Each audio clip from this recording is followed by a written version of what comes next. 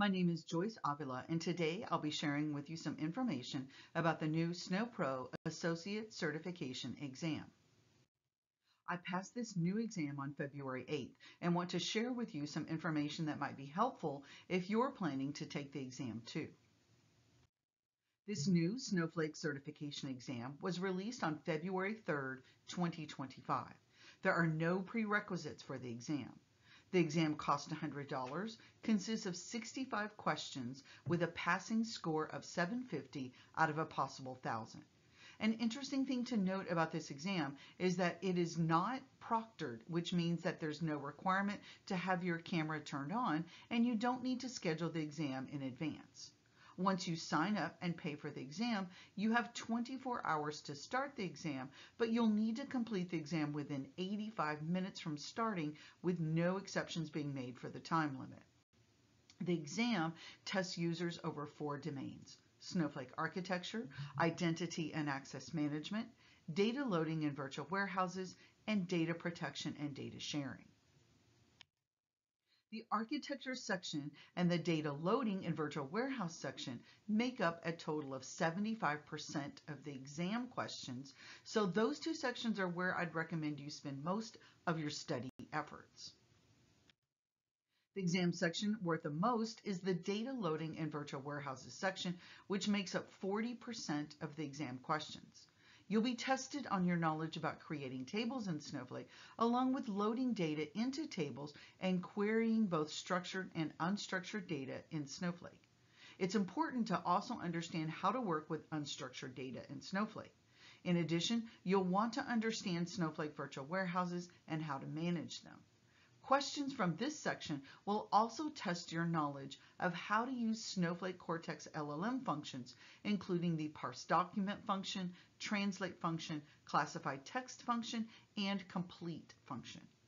Based on the importance of this section, I'd recommend you know how semi-structured and structured data are stored and referenced in Snowflake. It's also a good idea to be familiar with query history. There's another important section with 35% of the exam questions coming from this domain, interacting with Snowflake and Snowflake architecture. This section tests your knowledge of foundational concepts such as Snowflake layers and user interfaces like Snowsight, notebooks, and SQL and Python worksheets. Understanding Snowflake objects such as databases, schemas, tables, and views is important, along with knowing how each of the objects fit within the Snowflake hierarchy.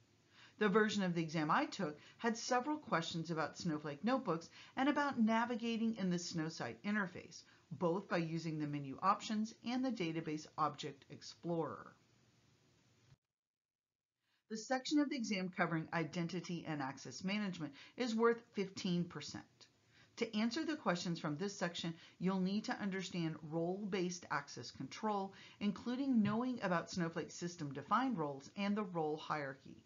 You'll also need to know about understanding context and how to set context with the use command. There are basic SQL commands using select, limit, and show that will be tested on several questions in this section. The last section, data protection and data sharing, accounts for about 10% of the exam. Within this section, you'll be tested over some basic Snowflake sharing capabilities and the Snowflake Marketplace. In addition, you can expect several questions about time travel, including which objects and table types you can use with time travel and how you can change the data retention time for time travel purposes.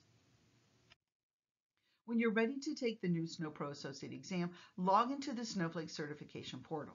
On the left side of the screen, click on Schedule and Manage Exams, and then Manage My Exams. Once there, you'll be able to sign up for the Snowflake exam of your choice. Best of luck to you in your journey. You can find me on LinkedIn and GitHub as well as on YouTube. I always welcome new connections.